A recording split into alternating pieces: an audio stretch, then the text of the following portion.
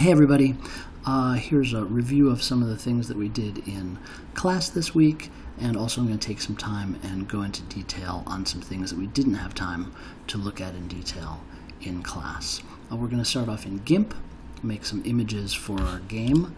I'm going to make a new image that's 200 pixels wide, 100 pixels high for our cloud. I'm going to zoom in on it so I can look at my work a little bit more closely. As we discussed, I'm going to create a new layer that's filled with transparency. And we can see that that layer appears over our background.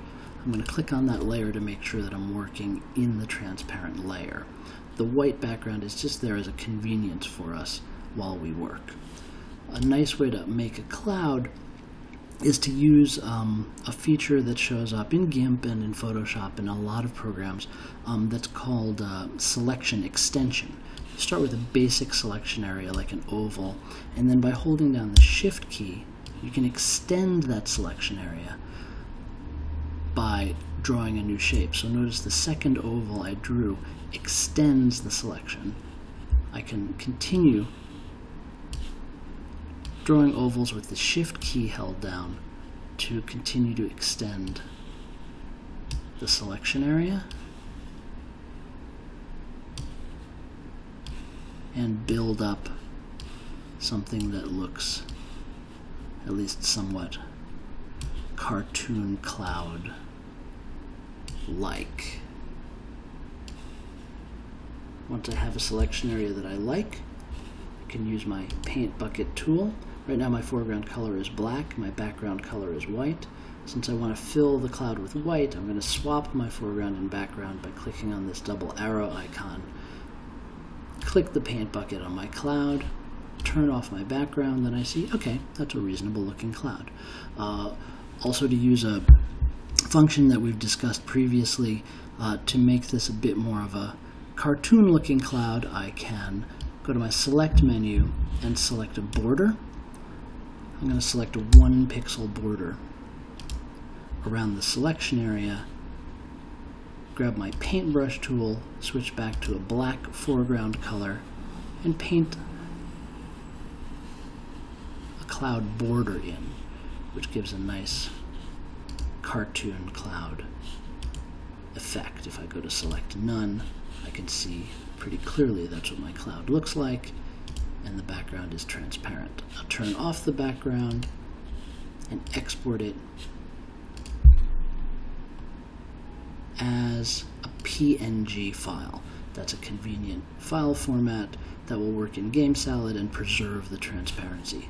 I'll call it clouds.png and I'll save it in the tutorial folder.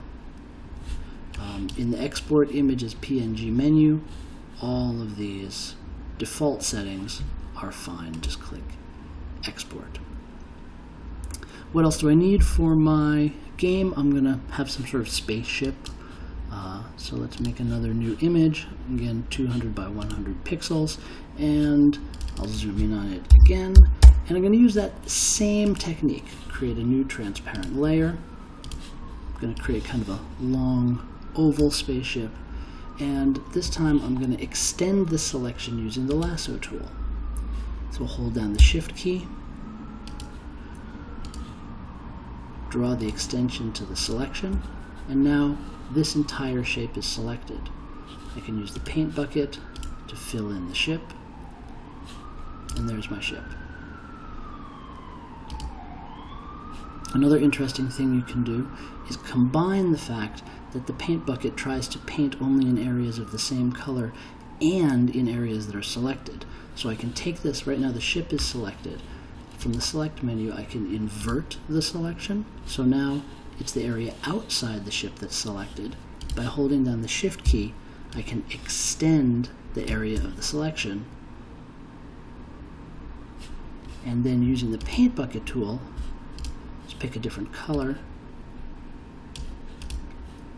if I click in this area, it'll only paint in this area because it's selected and it matches, it ma it's the same matching color. So now I've got a spaceship with a sort of pink windshield. And I will export that as a PNG file, call it ship.png. Uh, also, for my game, I'm going to make some land. Uh, in class, we just use the plain green blocks, like we use the white squares for clouds, but here I have some time to create some land. So I'll make it 200 pixels wide by 400 pixels high. That's quite tall. I'm going to create my empty transparent layer. I'll select most of it. And then I'll use that same thing again. Hold down the shift key to extend the selection. Like so. And paint in some green. Land. Turn off my background so I have transparency. And then a large area of green land. Export as land.png default settings are fine. Finally I want to create uh, some mountains as a background. So I'll start with a new image. I'm going to make it 500 pixels wide 700 pixels high.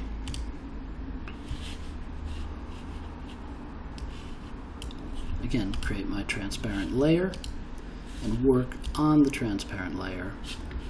I'm going to use the lasso tool again to create some mountain pattern.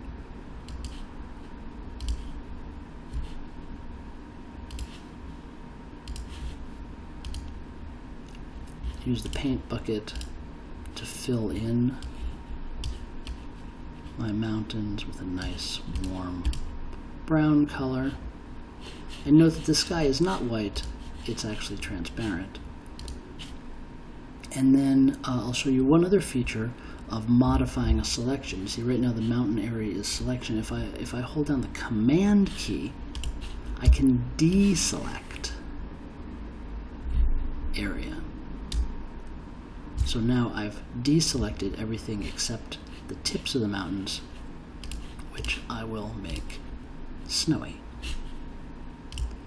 So I've got white tipped mountains against a transparent background.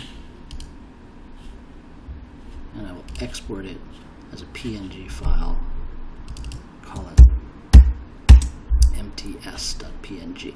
So now I've got my ship, my lands, my clouds, and my mountain. And I'm ready to go over into GameSalad.